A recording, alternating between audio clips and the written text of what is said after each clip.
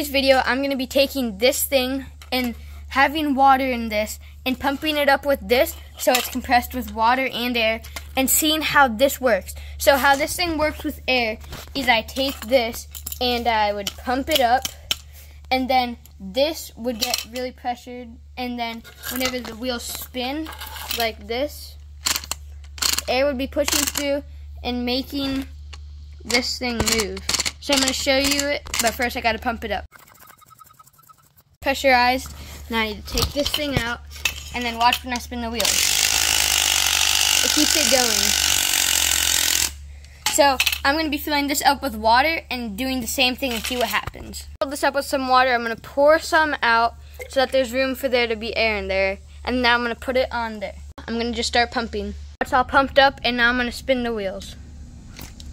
So is not it's not working. So now I don't know, I'm just gonna let it fill up with some water maybe.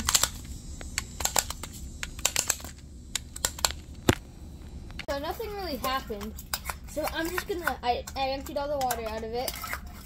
So now I'm just gonna pump it up a whole bunch and then see what's happened. Try to move the wheels.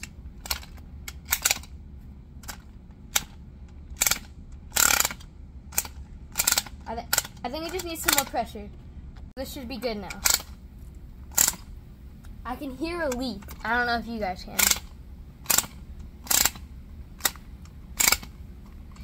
Yeah, so it's not really working, and I'm gonna real quick take this apart and see what's going on. Took it all apart and got the water that was sitting in this and stuff out. Um, now I'm going to go ahead and fill this up completely with water and pump it and see what happens. I just thought of a better idea. I'm to screw this onto the hose and turn the hose on and see what happens. All attached now. Now I just got to turn the hose on. It's a big fail. It didn't work, but thank you for watching.